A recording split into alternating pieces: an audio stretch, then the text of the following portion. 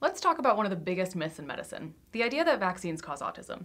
You've probably heard it before, but where did that idea even come from, and why do scientists say that it's not true? I'm Emily Brindley, I'm the health reporter at the Dallas Morning News, and let's walk through why scientists are so sure that this theory is false. The theory can be traced back to 1998 when a British doctor named Andrew Wakefield published a paper claiming that the measles, mumps, rubella vaccine could be linked to autism. It sounds scary, right? Well, other scientists immediately tried to test it. There was a flurry of research. If the theory was true, we would see it in those findings. For instance, kids who didn't get vaccinated would have lower rates of autism than kids who did get vaccinated. But here's the thing in study after study, researchers did not find a link between the MMR vaccine and autism.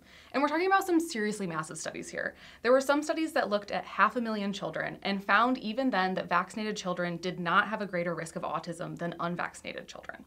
So, what does cause autism? Research show, show that it's mostly genetic, meaning that it starts even before a baby is born. So when doctors say vaccines don't cause autism, they're not just repeating a line, they're summarizing decades of research. If you see this myth floating around again, now you know where it came from and why science has fully debunked it.